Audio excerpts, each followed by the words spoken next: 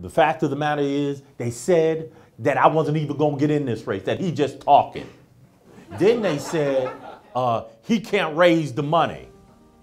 Well, I raised a quarter of a million dollars in 30 days from 6,000 people at what was $37 a pop. I raised more in average than even Bernie Sanders did.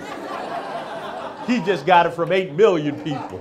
But the 6,000 people that gave me money, that's three times more than the number of people who donated to any other campaign. What that means is we're running a grassroots campaign, a people's campaign. And that's the kind of campaign, and it's the only kind of campaign I want to run. Because this is about people.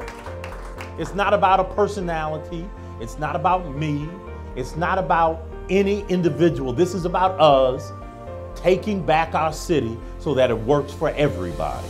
That's what this campaign is about.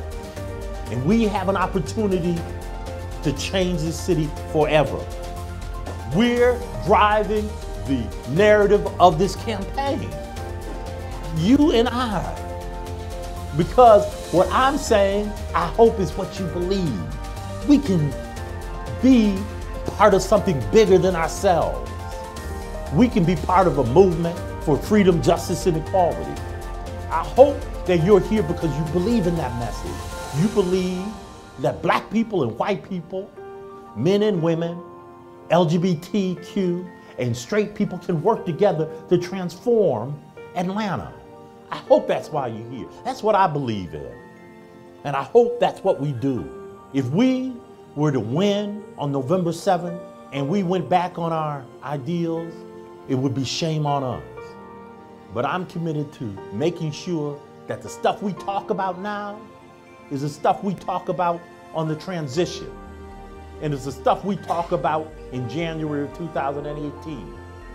We're to have a good time and a party time in January 18 when we have the people's inauguration. We're going to have a good time that night.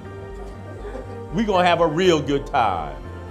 And then after that, the next day, we're going to get up and we're going to change this city. Are you with me? No, no. I want them to hear it. I want them to hear it on Mitchell Street and Trinity Street down in City Hall. Are you ready? I still don't think it got that far. I think if we do it one more time louder, I think they'll hear it at City Hall. Kasim Reed and all them folks.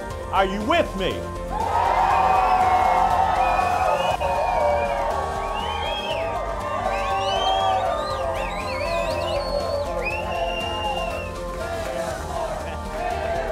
I think they heard you.